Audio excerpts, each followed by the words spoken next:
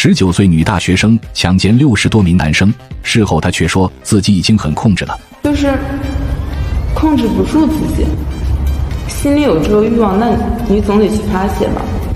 这么晚了，他们还在外面走，不就是勾引我犯罪吗？女孩就是抱着这样的想法付出了行动，在短短的半年时间内就作案高达六十多起，可报案人数仅仅只有两人，其中受到伤害的小陈。更是在面对采访时止不住的哭泣。我真的受不了，我，我要抓起来我的亲妈生儿，我真的不敢相信这。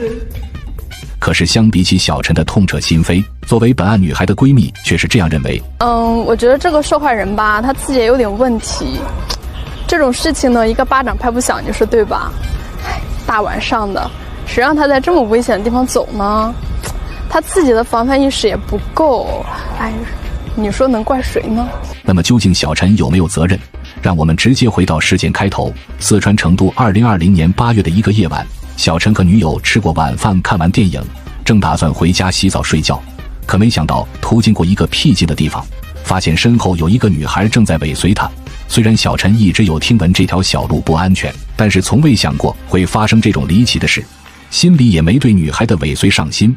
可是很快，背后的女孩快速的冲向小陈，接着用毛巾捂住了小陈的口鼻，并且还直接将小陈拖到了旁边的绿化带。等早上凌晨六点，小陈醒过来的时候，发现自己的裤子已经被脱了下来，草丛里还被人丢弃了七八个气球，这让小陈立刻意识到自己发生了什么事。他连忙跑到了附近的派出所报警，民警得知后也是带着他调取了现场监控。结果，当小陈看见自己遇害的画面时，竟然一时难以控制自己的情绪。我真的受不了，我，我要抓起来我的亲妈生儿，我真的不敢相信这。小陈事后在派出所内，竟然还有多次想要自杀的倾向，还好都被在场民警给阻止了。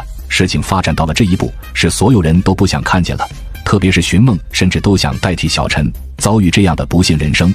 可是时光不能倒流，这一切都已经发生了，民警只能加大对周边的排查力度。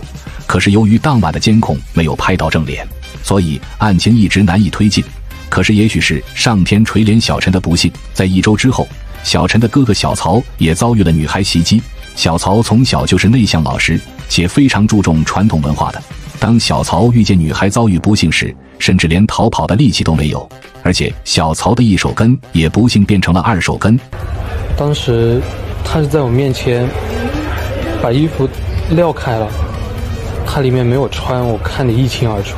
他还把我的手拿过去放在他的胸上，我当时就愣住了。可是，他还在对我笑，我觉得太可怕了。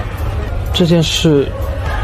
传出去实在太不光彩了。小曹这次的遭遇时间更长，且小曹还处于清醒状态，所以对于女孩的长相和特征记得非常的清楚。随后在素描师的帮助下，成功将女孩的长相给复原了出来。但是事后，女孩的另一个闺蜜却是认为小曹和小陈完全是多此一举，整个事件其实是他们兄弟俩占便宜了。我就没有根据的一说啊，我觉得对于受害者来说，他占便宜了。占便宜？为什么占便宜？这种事情他不配合怎么能完成？而且我觉得 他生理上感觉应该也不坏吧。民警有了女孩的画像，很快就在周边的走访调查中准确的查找到了女孩的信息，并且在当天就成功将其抓获归案。但是女孩只承认小陈和小曹两名受害人。不过后续在民警的大量走访中，越来越多的人站出来说出了自己的遭遇。每个人都有着自己不同的遭遇，也有着自己难以开口的理由。毕竟这样的事情对于一个男人来说，讲出来绝对是比较丢脸面的。民警将查找到的受害人登记后，又搜查了女孩的家，最后从女孩家的抽屉里发现了一本日记，在日记中详细记载了所有受害人，一共高达六十多名受害者，而且每次的心得和感受也全都被他写进了日记了。那么女孩为什么要这么做呢？女孩在面对镜头时也说出了答案，就是。控制不住自己，心里有这个欲望，那你总得去发泄吧。这么晚了，他们还在外面走，不就是勾引我犯罪吗？虽然女孩说的非常的诚恳，理由也是非常的合理，但是还是让人忍不住想问一句：为什么会选择这么多的受害者？女孩给出的解释是，她不希望多次